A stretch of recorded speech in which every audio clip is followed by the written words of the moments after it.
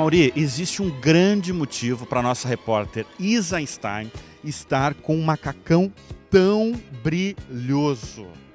Agora você tem que explicar, Isa. Eu vou explicar, porque hoje nós estamos homenageando a rainha da televisão brasileira, Hebe Camargo. Olha, meu nome é Hebe Camargo. Eu gostaria muito de trabalhar na televisão. Estou precisando de uma oportunidade e sei que quando a Mauri apresenta, não é como o Nelson Rubens que aumenta e inventa.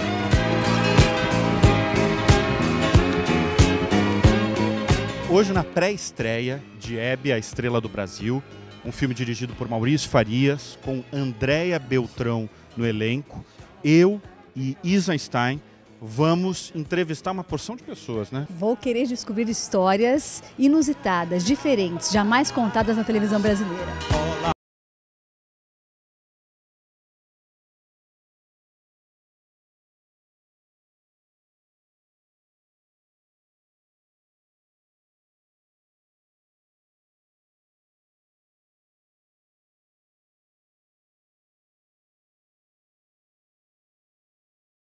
Você encontrou para interpretar Hebe?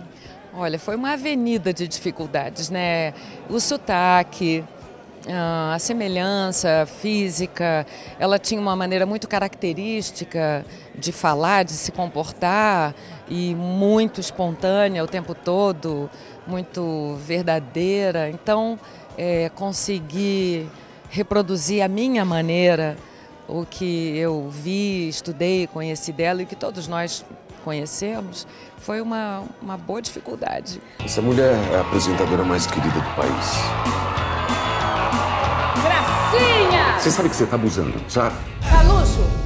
Acha que eu exagerei no programa de ontem? Ah, só se foi na maquiagem. O cabelo tava lindo, a roupa tava um luxo. Viu, diretor? Agora você falou em relação ao sotaque. É, a Eve tinha diversos trejeitos e, e conhecidos da, do grande público. De onde você buscou inspiração para retratar tão bem esses trejeitos? É, a fala, inclusive, que você tem uma fala bem característica carioca muito. e ela tem uma característica bem paulista. Como foi esse processo? Ah, estudei muito. Estudei prosódia com a professora professora Iris Gomes, que é uma doutora em prosódia no Rio de Janeiro.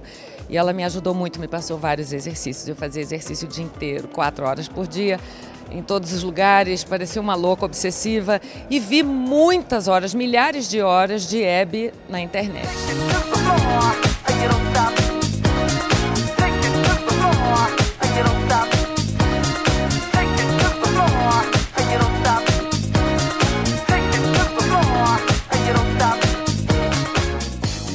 Hebe tinha muito humor, todos nós sabemos. Qual a maior graça ali na hora da direção e de estudar mesmo a personagem? Eu acho que a Hebe ela tinha é, é, uma, uma relação com as pessoas, uma generosidade com as pessoas que encantava a gente. Então, é, é quem se aproximava dela, todo, todas as pessoas que eu é, vi, conversei, li a respeito, saíam muito encantadas. Ou seja, ela tinha uma graça realmente natural é, que divertia as pessoas e encantava. Vamos, vamos de Lady Di ou de Madonna hoje? O que você quiser. O filme faz parte da plataforma Abby Forever. Dentro da plataforma, nós fizemos o musical, fizemos a, a exposição, fizemos a, a, a, biografia maravilhosa com o Arthur Chechel, é, o filme, documentário, minissérie, dentro dessa plataforma App Forever. E, e, então a gente é participante da produção. Nós somos co Agora, você naquele dia a dia de trabalho, qual foi o momento que você de fato se emocionou pela lembrança? Qual foi esse momento? Olha, tiveram muitos momentos, mas um deles que eu posso relembrar, que foi sensacional, foi o primeiro dia que a Andréa Beltão esteve em casa e ela botou um, uma, uma, uma, roupa da Hebe, fez o cabelo parecido com o da Hebe e entrou dentro da piscina da Hebe e tirou uma foto igual a uma foto que a gente tem da Vogue, com a Hebe dentro da piscina. Aquele momento para mim, é, é, ela estava recém começando a estudar a Hebe, né? Mas foi um momento de muita emoção, porque eu vi ali personificada a Hebe de uma forma muito forte.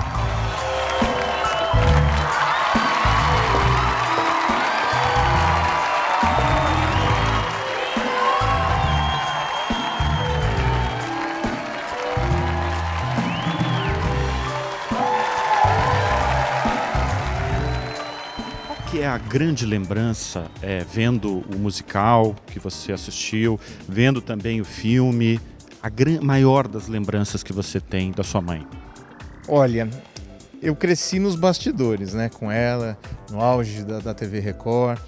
E, mas eu, assim, a, a, grande lembrança que eu tenho dela é pessoal, é de filho para mãe. Que assim, a gente sempre foi muito extrovertido, muito musical, falante. E sempre que eu chegava, é, eu morava uma época, eu morei vizinho à casa dela. E sempre que eu chegava, eu saía assim na varanda e gritava, mãe! E ela ouvia e gritava assim, meu filho, sabe? Então isso ficou um marco entre a gente. É evidente que se Hebe estivesse entre nós hoje, é, não só pelo filme, mas principalmente pelo filme, ela seria a grande estrela, como ela sempre foi a grande estrela e sempre foi personagem cativo aqui no programa, a Mauri Júnior. É verdade. Qual seria a primeira palavra, a primeira frase que ela falaria se ela chegasse aqui hoje? Eu tenho certeza que ele assim, meu Deus, eu virei filme. Esse é o programa Hebe para todo o Brasil. Daniel Boaventura vive um ícone da televisão brasileira, ainda vivo. E você já pensou que você vive no cinema o maior nome da TV brasileira dentro do filme da estrela do Brasil, Daniel Boaventura vive Silvio Santos. Pois é. Ah, quando Maurício Farias, que é o diretor, me fez o convite, ah, eu fiquei, ao mesmo tempo, fiquei muito lisonjeado, muito feliz, ao mesmo tempo preocupado, porque eu sabia que uh, o enfoque seria outro, seria um enfoque mais privado, mais realista, de como seria, por exemplo, a situação de negociação, uh, no caso do Silvio, empresário, com a comunicadora Hebe. Então, não teria espaço para as famosas, uh, as famosas colocações do Silvio, né? Do aquela coisa toda. Que eu falei logo para o Maurício, cara, eu não sei fazer isso. Tenho colegas talentosíssimos que sabem imitar o Silvio muito bem.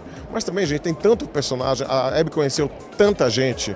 É, eu, eu conheci a Hebe, eu, eu, cantei com a Hebe, inclusive. Nós, nós... É verdade, você fez. Você cantou com ela, né? Do DVD dela, cantamos juntos, a Lida Quimiqueiras, que ficou enfim, ficou para sempre gravado na minha memória, um momento muito especial.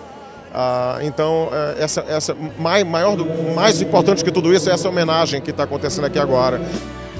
Rocha interpretou muito bem Roberto Carlos. Aliás, Roberto Carlos tem uma, uma, presença garantida, sempre teve presença garantida no programa da Hebe, né? Sim, ela era louca por ele, né? Ela era realmente apaixonada por ele. E é linda a relação dos dois, né? Eu, assim, me preparando para o filme, vi várias entrevistas dos dois. É uma relação muito bonita, muito cheia de carinho. Felipe, você sabia que o Mauri Júnior estava presente na festa de 80 anos da Hebe Camargo? E nós temos a entrevista da Hebe com a Mauri e o Roberto Carlos. Quer rever com a gente? Vou adorar, vou adorar. Chegou o Roberto Carlos para homenagear Hebe Camargo. Eu jamais podia imaginar. Quando me disseram que era ele, falei, não pode ser, deve ser clone. A Hebe é o amor e a alegria. A, a Hebe, na minha opinião, é um símbolo de alegria desse país. Prefeito de São Paulo, Bruno Covas, primeira dama do estado de São Paulo, Bia Dória. E eu acho fundamental a presença de vocês, porque Hebe Camargo tinha uma relação com a cidade de São Paulo, com o estado de São Paulo, muito grande, né? Ah, ela é a cara da cidade de São Paulo. É mulher batalhadora, empreendedora, que corre, que vai atrás, que acredita. Eu acho que é um pouco o DNA do paulistano, né? Pessoal que veio para cá do mundo inteiro para poder conquistar o seu lugar ao sol. E eu acho que é exatamente um pouco a cara dela. Eu estou emocionada porque a Hebe foi, foi, sempre foi muito nossa amiga. Então, eu não sei se eu vou resistir nesse filme hoje. Qual, qual a maior lembrança que você tem dela? Ah, em Comandatuba, quando ela já estava no finalzinho, já com câncer, ela saiu de noite para andar na praia, porque ela já ela tinha, ela tinha um pouquinho já de. Ela era muito vaidosa, então ela saiu à noite, no escuro, para andar na praia e pediu para nós acompanhá-la para andar na praia. E aí ela falou: Mas que peninha, que peninha deixar esse mundo. Então acho que foi a última. Falou: Que peninha deixar esse mundo. Então, hoje está aqui com a gente.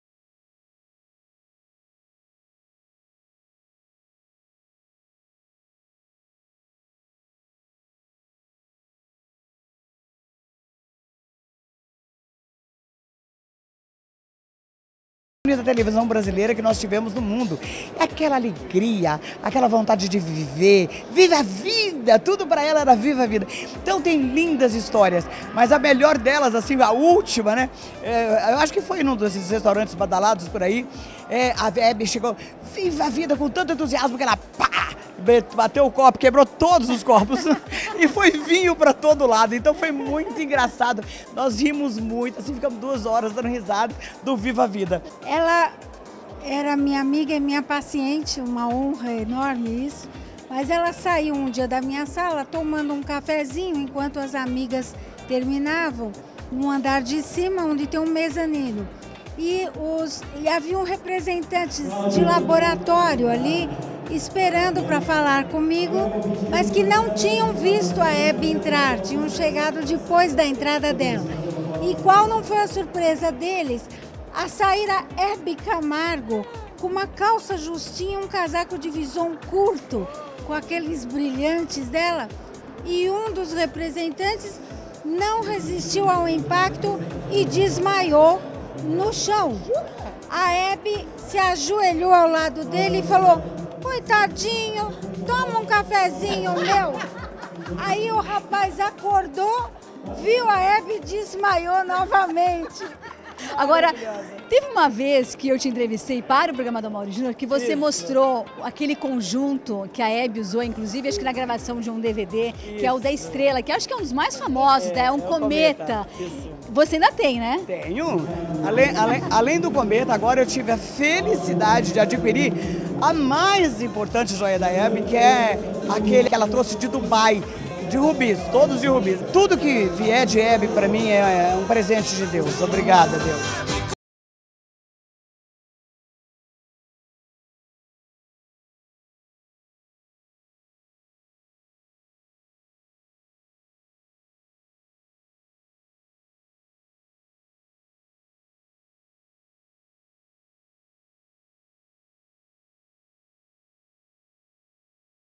Estou com Benedito Braga, presidente da Sabesp, com sua mulher Marlene Braga, nessa noite em que vocês da Sabesp são anfitriões também dessa noite. Né? Me fala, Benedito, uma lembrança que você tem de Hebe Camargo. Olha, lembrança de Hebe Camargo é personalidade forte, mulher lutadora, uma pessoa ícone é, do show business brasileiro. A gente lembra da Hebe com aquele sorriso largo e é uma felicidade, né? Muito que ela passava para todos, sim, uma figura muito querida, muito amada. Acho que por todos os brasileiros, acredito. Olha só, o Benedito Braga com a sua Sabesp está com um projeto grandioso que é o sonho de todo paulistano, de todo mundo que vive no estado de São Paulo, que é a despoluição do Rio Pinheiros, né? Exatamente. Isso aqui foi uma missão que o governador João Dória nos deu para a, a alegria dos paulistas. E não só dos paulistas, mas dos brasileiros, porque o Rio Pinheiros e o Rio Tietê são ícones é, da, da área de recursos hídricos. Uh, e, e, assim, na medida em que nós consigamos uh, realizar esse sonho muito antigo dos paulistanos, nós vamos ter uma melhoria muito grande em termos de turismo, em termos de lazer para a população uh, da cidade de São Paulo. Então, é uma missão muito difícil, mas a Sabesp está preparada para atender essa, essa demanda da população de São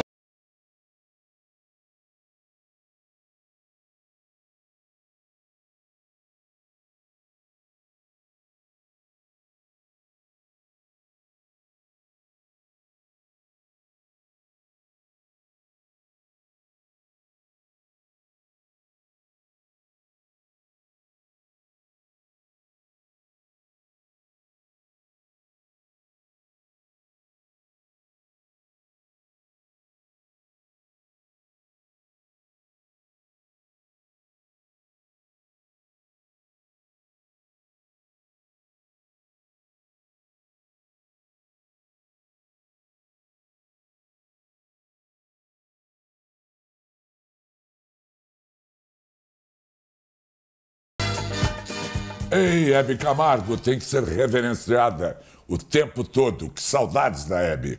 Por falar em Hebe, é, você sabia que foi instituído o Dia do Selinho? O Dia do Selinho é uma ideia do Cláudio Pessutti, que é sobrinho da Hebe Camargo.